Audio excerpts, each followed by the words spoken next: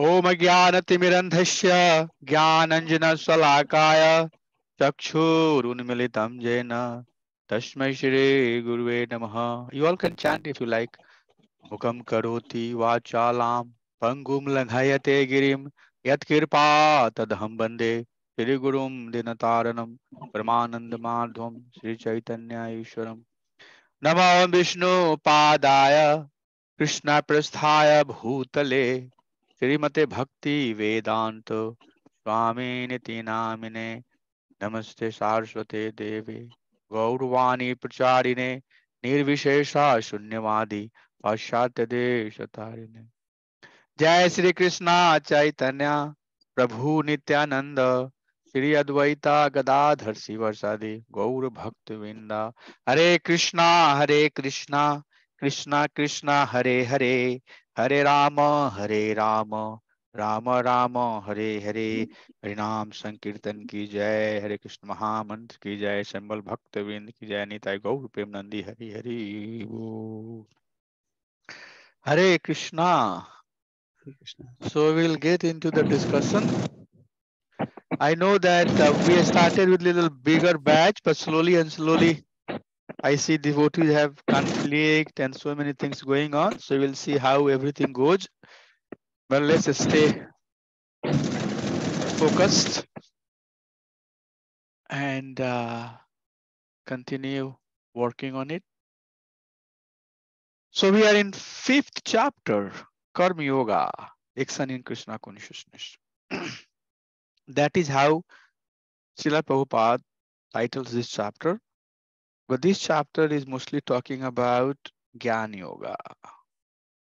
So part of the third chapter, fourth chapter, and fifth chapter talks about Gyan Yoga. But they talk uh, different steps. So this chapter is basically talking how Niskam Karma Yoga can culminate in Gyan Yoga. And then what should be the focus Gyan Yogi, which is liberation. But uh, Gyan Yogi as a practitioner, they meditate upon the Supreme Lord's Brahman's feature. So that's what we are uh, doing. In the very beginning of the chapter, Arjun asked the same question, just to recap. My dear Lord, should I uh, follow the process of sannyas, which means, so sannyas here means uh, karma sannyas, renounce all the activity, or should I follow the process of niskam karma yoga? So karma yoga here, we'll read niskam karma yoga. Krishna said that uh, both sannyas or karma yoga, niskam karma yoga, which means acting without the desire for results, without the desire of any fruits, will lead to the same result. So, if you perform Niskam Karma Yoga, you will have multiple benefit, or you will have the benefit over being a being a sannyasi, because you will have something as a Niskam Karma that will continue purifying it. And once you are engaged as Niskam Karma Yogi, then due course of time that will lead, that will advance your consciousness, and then you will become a Gyan Yogi. And when you become Gyan Yogi, for liberation, you have to focus on the Supreme Personality of Godhead. So your focus should be on the Supreme Lord. And that should be on his Brahman feature. So should be pretty good, right? Should be pretty easy to understand. So last week we went up to verse number 22nd, right? In the previous series of verses, Krishna is talking about that what are the symptoms of a self-realized person. And we saw uh, Shukham Akshayam Ashnute. All of these, you know, Isthir Budhir Asammudhau Na Praharshet Priyam Prapya Na Udvijet Prapya Chapriyam. All of that we say. We saw that. And then Krishna continues and he is now giving the guidance that how a self-realized person acts. When he sees the object of sense pleasure how does he respond to it? This is very beautiful verse. So i put it on the full screen and i'm sure you all would like the meaning of it. नहीं संपर्श जा भोगा यही संपर्श जा भोगा दुखा योनाय एवते। आदे अंतवंत कौंतय न तेषु रमते बुधा। ब्यूटीफुल वर्ड्स यही संपर्श जा भोगा दुखाय जो नय एवत। आद्य अंतवंत कौंतय न तेषु रमते बुधा। You know whenever senses are coming in touch with the object of sensual pleasure, right away, dukh yonaya evata. Right away, it creates the impetus for dukha. So whenever senses are coming in contact with sensual pleasure, for sense gratification. Right there, it creates the impetus for dukh, for suffering. Adya antavantah kantya. It has beginning and then it ends. Nateshu ramte buddha. A person who has this knowledge, that person, here the Buddha, Buddha, Buddhi, wise man. Wise man do not engage in such type of activity which has beginning and end. And he knows that this is cause of his suffering. So knowing that it has beginning, it's going to end. Knowing that this is going to be cause of his suffering, a learned man, a man of knowledge, would not engage in such activity. This is higher stage, right? Very high stage. So that's how verse number 22nd finished. And then he says that uh, try to tolerate the agitation. Agitation. शक्नोत्यव शक्नोत्यव एव काम क्रोधा उद्भव बेगम। सह युक्त सुखी न रह सो शक्नोति you शक्नोति means if one can tolerate if one has strength शक्नो if one has strength to tolerate calm the urges of senses, which is arising from krodha, which is arising from the urges of senses are arising from kama and krodha. So one who is able to tolerate saknoti, one who is able to tolerate the urge of kam and क्रोधा, प्राक शरीरा विमुक्षना till the time of giving of his present body सह युक्त सुखी नर he is well situated and is happy in this world so the material desire is outcome of राग and द्वेषा काम एंड क्रोधा Too much attachment I lacked too much, you know, detachment. I do not like it. I hate it. So a Buddha, a learned man, knows that the urge of senses are coming from desire and anger. And if he can tolerate that, then Shah Juktaha Sasukhi Naraha. Juktaha here refers to the man who is or the person who is fully situated in Brahman. So he's well situated. Where he's well situated? In Brahman. And he is very happy. It furthers, it furthers explain what exactly it means. Yo antaha shukho antar arams arams tathantar ज्योतिरव स योगी ब्रह्म निर्वाणम ब्रह्म भूतो अधिगछति यो वंत सुखो।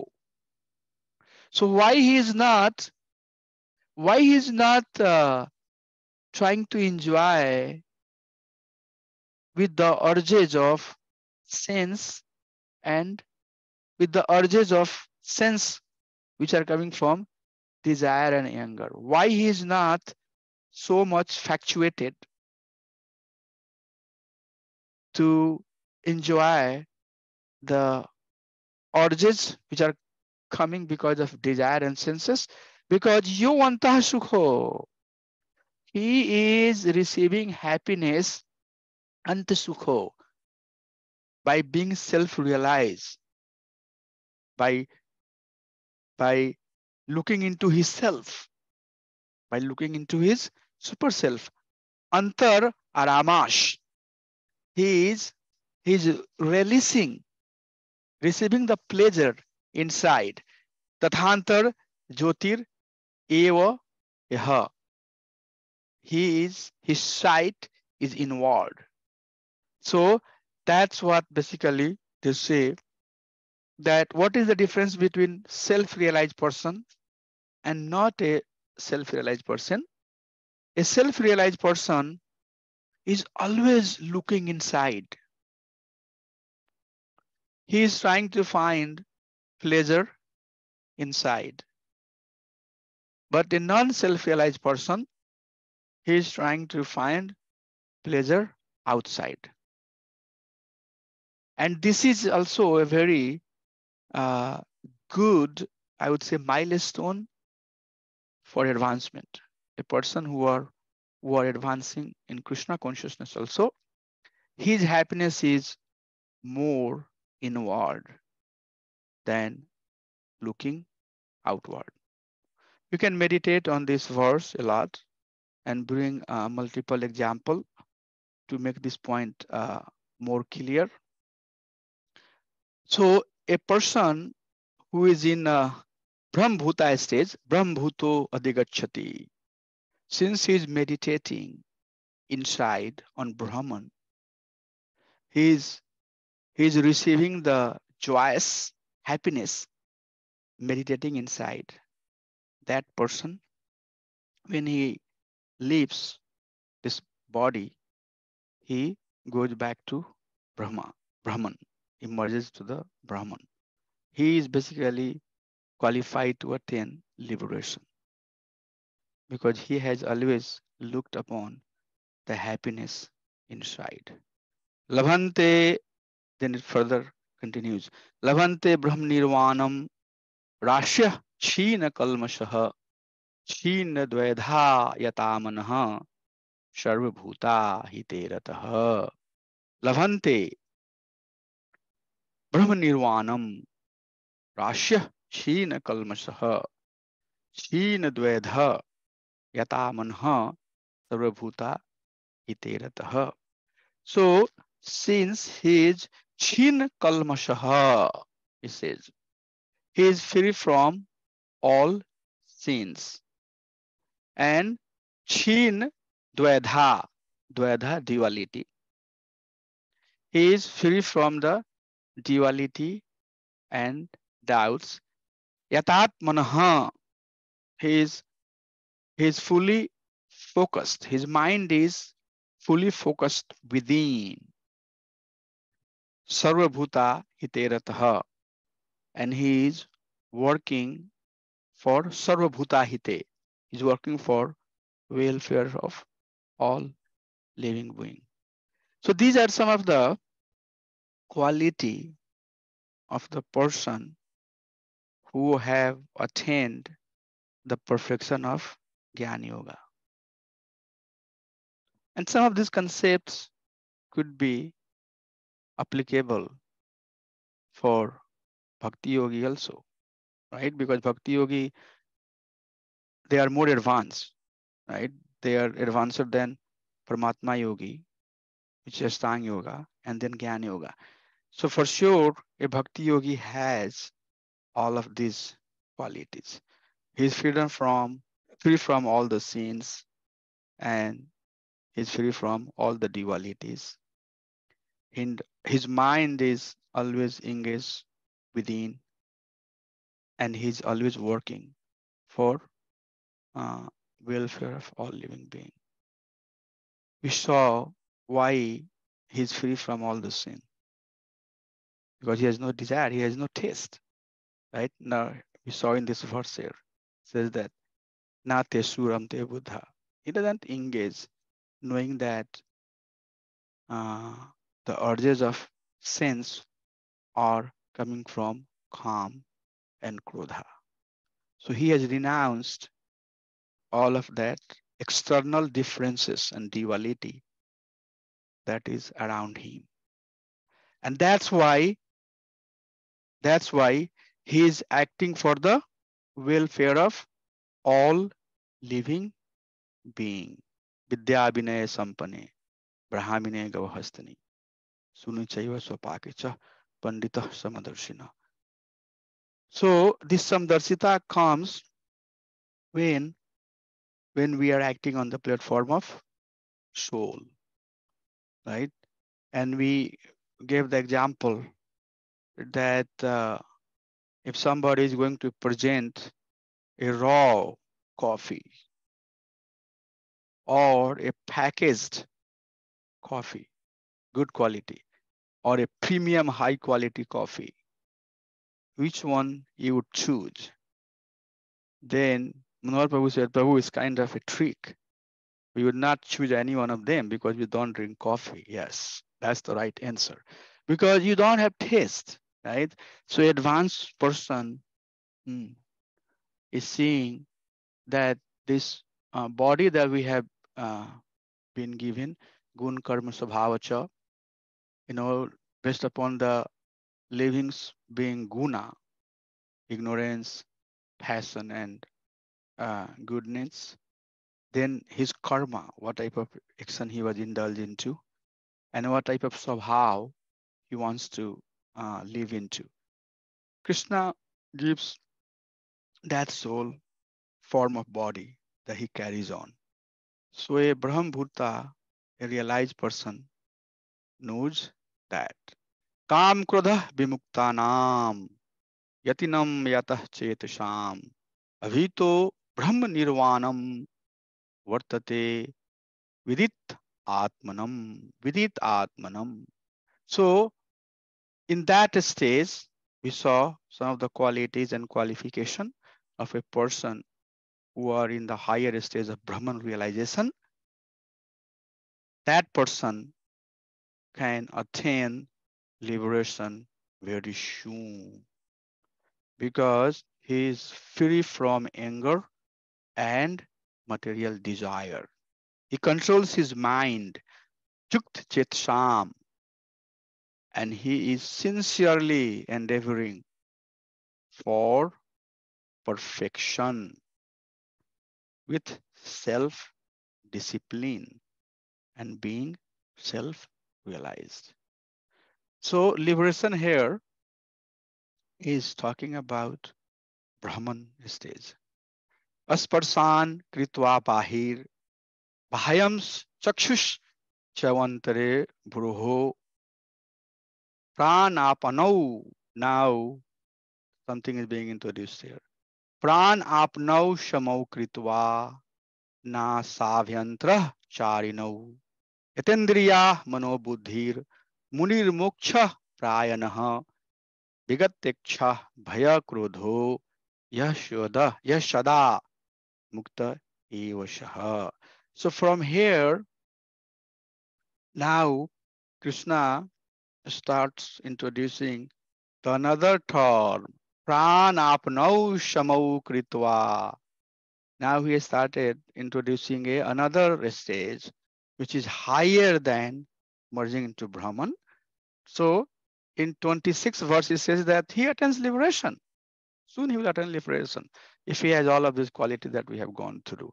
But there is another stage here, which is Ashtang Yoga. So setting out all external sense object and focusing his eyes between the eyebrows. Now we are talking about Ashtanga Yoga, right?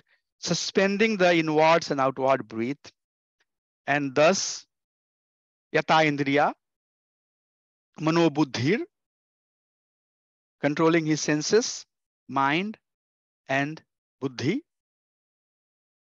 That transcendentalist aims at liberation. So this liberation here is talking about Paramatma. He becomes free from the desire. Bigat Iksha. See here? Is here. Bigat Iksha Bhaya Krodho. He becomes he becomes free from Iksha, Bhaya, fear, Krodha, anger. Yah Shada Mukta. That person, Sada, certainly muktaha will be liberated. So Krishna here briefly introduce the next chapter, chapter six, that a person who is having all of these controls will be certainly uh, will be qualified to be to be higher stage of liberation. And that's how we'll get into uh, next chapter. This is the final verse from this chapter, very powerful verse. It sounds very easy, but this verse has tons of meaning uh, that it carries on. And this is the verse you have to memorize also. 29 has a stars. Bhoktaram Yagtapasam Sarvaloka Maheshwaram Suhidam Sarvabhutanam Gyatva Mam Santim Vikshati Ikshati. So Bhoktaram Yag Tapasam Yagya and Tapasya. So who does this uh, Yagya and Tapasya? Krishna is talking about that right in third chapter so Karma Yogi is engaged in this yagya. But who is the benefactor? Who is the real beneficiary of their yagya and tapasya? The Supreme Personality of Godhead. Krishna says that, right? That these demigods are receiving the honor on my behalf. Sarvaloke Maheshwaram. And then the same Supreme Personality of Godhead, who is all pervading in all living being, which are object of Astang Yogi. So Supreme Personality of Godhead as Paramatma Saraloke Maheswaram is object of worship for Astang Yogi. So Astang Yogi is also worshipping the Supreme Personality of Godhead.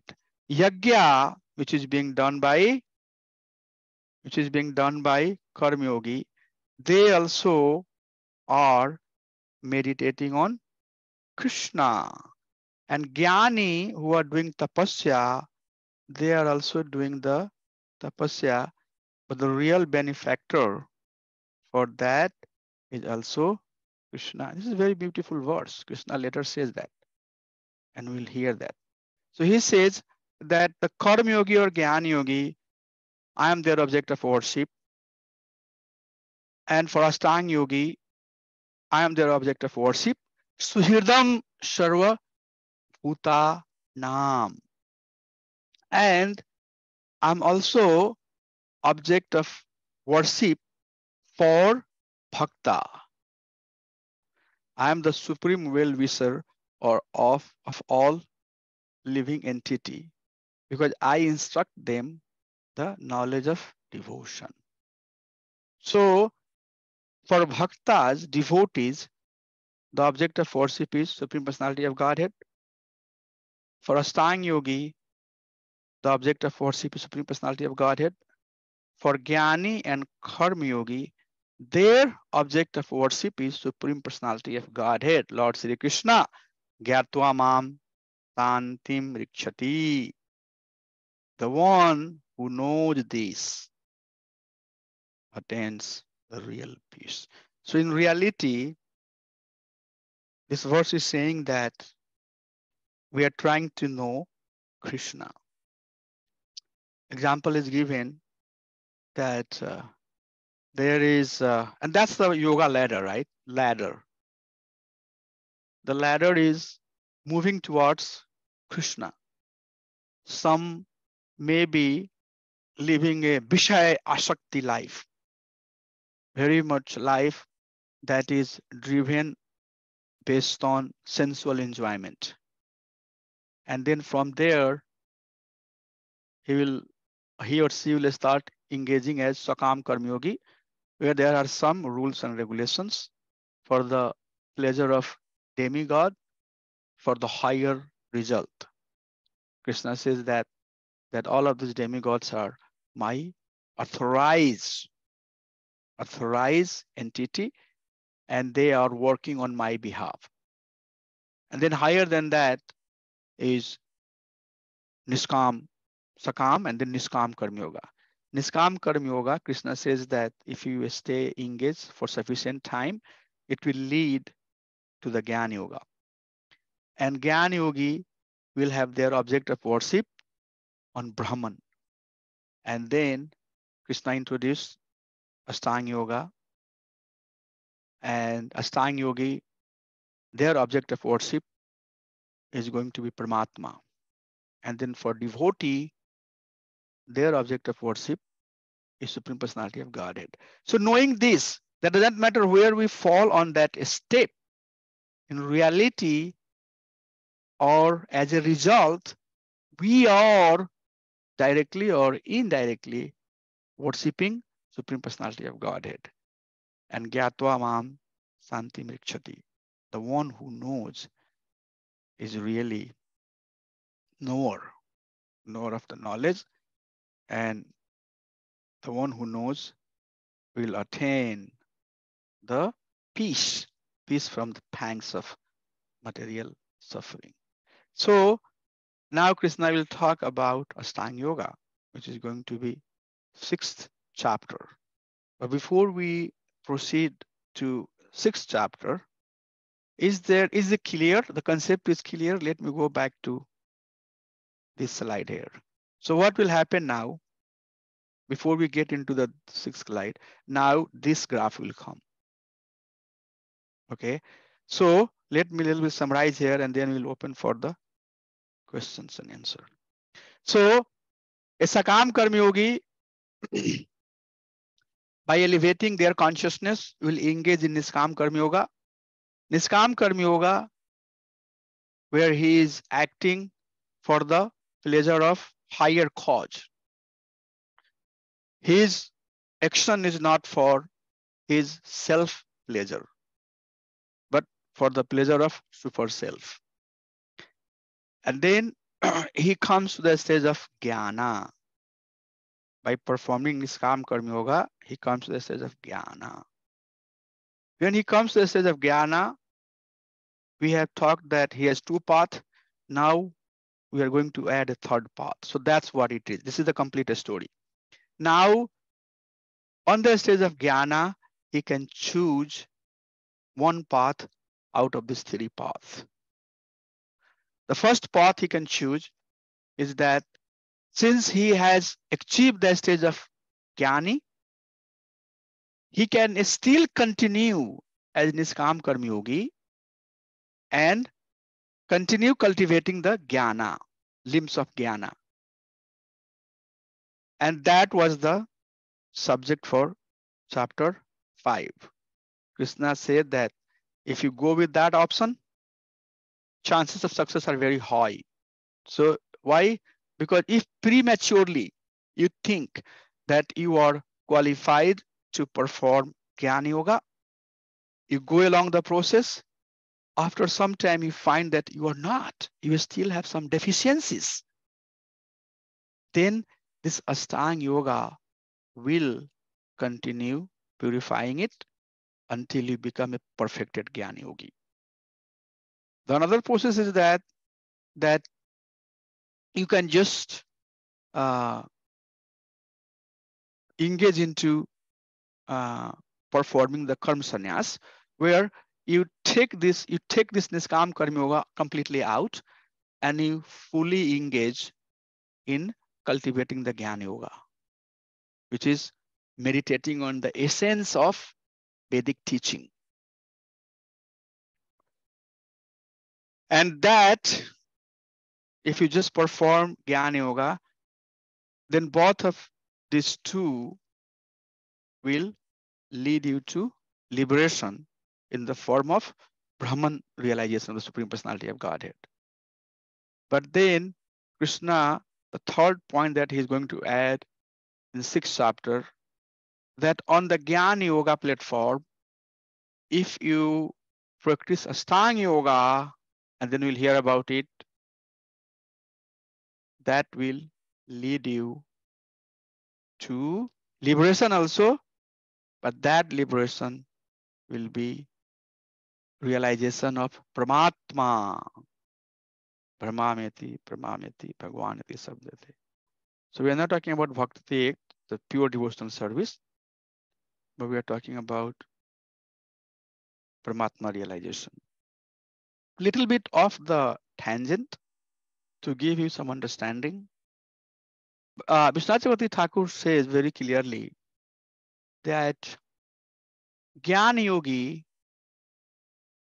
Gyan Yogi, realizing the Brahman feature of the Supreme Lord is because of the bhakti. Because Lord himself is Gyan Murti. You know, he is personification of all the knowledge. So even attaining the Brahman cannot happen without some degree of bhakti. So Gyan Yogi attaining the Brahman realization, the Brahman realization that he attains, he attains because of the part of bhakti that he has. But that bhakti is founded on jnana. This is called guna bhuta bhakti. This is a term introduced by Vishwanath Thakur. Guna bhuta bhakti. Same thing, Astang Yogi realizing the Paramatma is uh, also not because of the Astang Yoga, but because of the bhakti, some part of the bhakti that they perform as a secondary limb, not the primary limb. The primary limb, and we'll hear some of these in Nectar of Devotion. There is primary limb of the bhakti, and then there is secondary limb of the bhakti. So when someone is guna bhuta bhakti, then they perform Gyan Yoga or Astang Yoga as primary limb and Bhakti as a secondary limb. So attainment of the Brahman or Paramatma happens because of the Bhakti that they do. And Bhakta attains Bhagwan because Bhakta perform bhakti as a primary limb. And then Rupa Goswami says, Anyavilashita sunyam gyan karma anavritam anukulenu krishnanu silnam bhaktir utama. So this uttamam bhakti is now at that stage this Gyan and Karma, the limbs of Gyan and Karma has been anavritam. And Vishwanath Thakur says that's Kevalya Bhakti. So, Guna Bhuta Bhakti is Bhakti based on based on Gyan Yoga or Astang Yoga, based on Guna. And these are, so Sakam Karma Yoga is in the mode of passion. I'm not sure if you all are understanding this thing or making note or these things will help you a lot. Astang Yoga is mode of passion. Gyan Yoga, sorry, Sakam Karma Yoga is on the mode of passion. Gyan Yoga and Ashtanga Yoga is in the mode of goodness. Bhakti is beyond. Shuddha Bhakti is beyond. So one cannot achieve Supreme Personality of Godhead is staying within the guna. Tragunya bhava. Tragunya visaya veda. Nastaragunya bhava Arjuna. Come out of these gunas. And then you will attain Bhagwan. So, so in uh, Gyan Yoga and in Astang Yoga, there is bhakti, but that bhakti is in a very weak stage. It's not Kevalya Bhakti, it's not purified Bhakti. So devotee, let me give a pause here before I keep on talking so much. So is it clear so far? Can somebody confirm? Is it clear? The concept is clear. So a bhakti, a devotee can also, so now this is for the other personality for Gyan Yogi and Astang Yogi and Sakam Karmi Yogi. Whatever result they achieve, they achieve based on some part of devotion that they have done. Merely Gyan Yoga perfected Gyan Yogi would never leave, never lead to even Brahman understanding of the Supreme Personality of Godhead. It has to be bhakti. And what is the limbs of the Gyan Yoga? They do meditate on the essence of the Shastra. Shastra says that uh, Param Purush is Bhagavan. Okay, so they will meditate on that, but they would not know that the the Param Purusha has a form, okay, but they do some bhakti. So the point that I'm trying to make here is that either attaining the Brahman or Paramatma, none of these attainment can happen without having some bhakti, but that bhakti is not Kevalya bhakti. That bhakti is still founded on jnana, founded on ashtanga. But when devotee performs pure bhakti, Suddha bhakti, Uttama bhakti, Kevalya bhakti, where they are engaged in following the limbs of devotional service, nectar of devotion, 64 limbs. Five of them are prominent. Then he attains the Bhagwan form. Because the process has to be, the action has to be pure to achieve the pure goal. So, ahitukiya pratihata. So, so it has to be ahituki and pratihata. Ahituki is basically purity of the goal. The goal has to be pure. And then apratihata, gyan karma, anavritam, action has to be pure. So the so when one's action and one's goal, both of them are pure, then that's called Uttama Bhakti.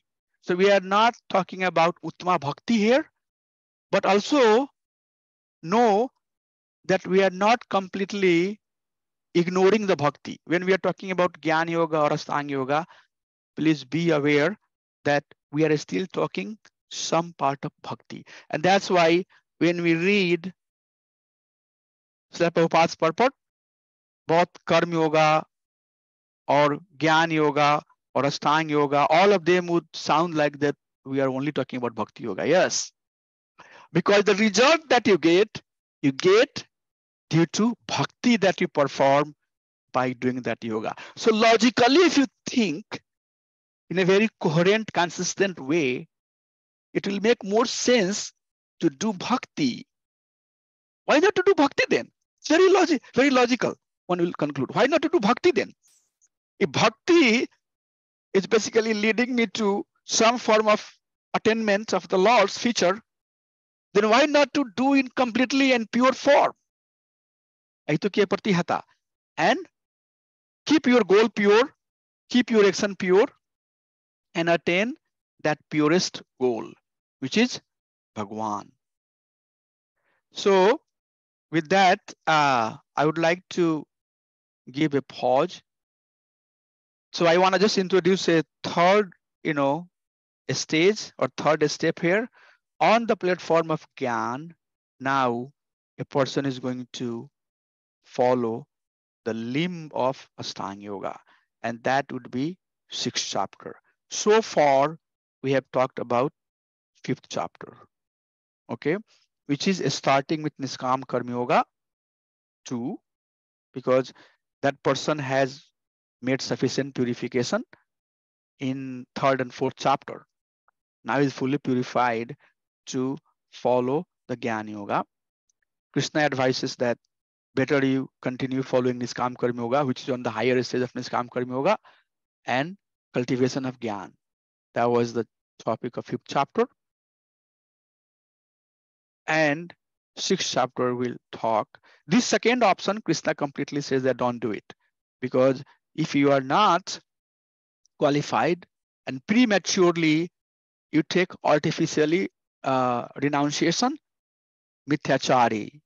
It's better to do your duty right than doing others' duty wrong. Multiple example we saw. We saw in the third chapter, fourth chapter, fifth chapter, that a girhasta might be engaged in their household activity as Niskam Karma Yogi, and somebody prematurely will take the sannyas yoga and start showing that, oh, I have renounced everything. Then that sannyasi, since his goal is not right, he his action is not right, he may go down. He may go to the lower planetary system. But a girhasta, since he is acting in his purified form, he may attain the higher stage.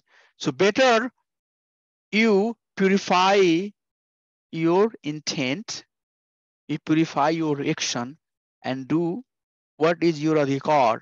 That adhikar will lead you to the higher stage rather than artificially pretending. So the second step most likely is not being spoken a lot rather than just we heard that this you should not do because this one does not have guarantee. Yes, if you have, if you are 100% sure that you have purified completely, which is hard to know you are purified or not. Krishna is saying that why don't you do this one? Take some Niskam Karma Yoga and continue practicing the Gyan Yoga. And then next chapter we'll talk about Ashtanga Yoga. So with that, I would like to give a pause and let's have some uh, conversation among ourselves. Let's see what are the things you have to talk. And uh, may I ask, is it clear? I know it's a little bit uh, difficult to say that I understood everything, but was it clear up to some extent or no? Yeah, uh, thank you very much, Prabhu. I mean, a lot more clear. It's like uh, a very deeper understanding of Bhagavad Gita than before. Thank you, Prabhuji. It's all constant practice and reading. So you all should read constantly, meditate, keep your course of reading in the beginning very focused. I want to study Bhagavad Gita very systematically, Bhagavatam very systematically, Chaitanya Charitamrita very systematically. These three literatures are sufficient. Okay, no need to unnecessarily try to be too smart and start talking about so many things because all you are doing is that you are, unless until you are not expert, which in many cases I am not, it's better to follow the instruction that's coming from His Divine Grace Prabhupada, which is aligned with the instruction that our acharyas have given. So, uh, one more thing I would like to share is very important to let you know that. So, uh, Bhagavad Gita talks about Guna Bhuta Bhakti, Pradhan Bhuta Bhakti, and Kevalya Bhakti. So Guna Bhuta Bhakti is basically Karma Yoga, Gyan Yoga, Ashtanga Yoga. Pradhan Bhakti is basically where Bhakti is prominent, but still there is some component of Jnana or Ashtanga. And finally, it talks about you know pure unalloyed uh, devotional service, where Krishna says that uh, you know leave everything and don't fear. I'll take care of it. That's Uttam Bhakti. So Bhagavad Gita talks about all these three types of bhakti, which is uh, the terms are given to us by Vishwanath Chakravarti Thakur. Guna Bhuta Bhakti, pradhani bhuta भक्ति and Kewalya भक्ति। It's it emphasise on प्रधान भूता भक्ति and Kewalya भक्ति। And it extract the abstract the summary that it gives is Kewalya भक्ति। Okay so in Bhagavad Gita you will hear about गुणा भूता भक्ति where some devotion is there with lore of Gyan and Karma. Let me see if I can bring that slide. It'll be nice. Just one minute, devotees. If I can bring that out, that will be very helpful for you to understand those terms. Just one minute, please. I need to find, I was, I was on the another meeting and right after that, I came on this one, so I didn't pull that slide out. So Pradhan Bhuta is Ashtanga Yoga, right? Ah, uh, we'll see it, Prabhu. Let okay. me bring that out.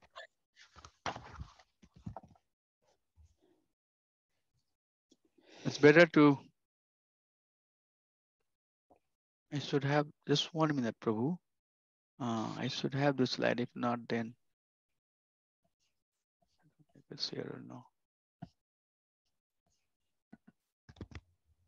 I know that I talk about it once a while.